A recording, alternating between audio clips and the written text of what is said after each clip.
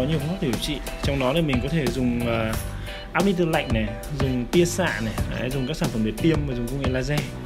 Đấy thì tất cả phương pháp đều có hiệu quả.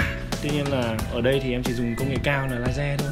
Đấy, làm laser thì theo quan điểm của em là nó sẽ có hiệu quả tốt nhất. Về nhà thì chị phải hạn chế vận động mạnh không được sờ tay và sẹo. Thứ hai là áo là chị phải mặc cái áo nâng ngực ấy.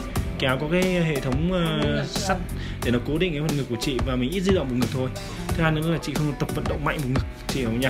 Đấy, thì mình điều trị nó mới có hiệu quả được, nhé chị nhá. Chị cái sẹo này của chị nó lớn. Là nó quá to rồi chị ạ. Chị kéo hai cái áo lên ra em xem sau so sánh.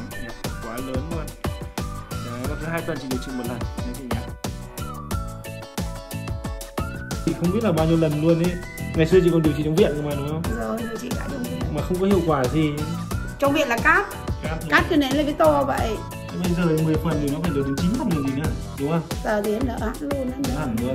Ngứa thì không ngứa đúng không? Không ngứa nữa. Còn cái mạch máu thôi mình sẽ xử lý hết cả cái mạch máu nữa là xong. Nha không đáng tiền gì cả.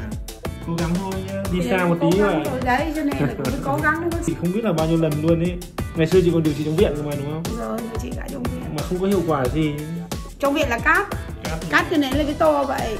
Bây giờ 10 phần thì nó phải được đến 9 phần được gì nữa đúng không? Giờ đến đỡ hẳn luôn nó hẳn luôn. Ngứa thì không ngứa đúng không? Không ngứa nữa. Còn cái mạch máu thôi mình sẽ xử lý hết cả cái mạch máu nữa là xong. Nha không đáng kể gì cả.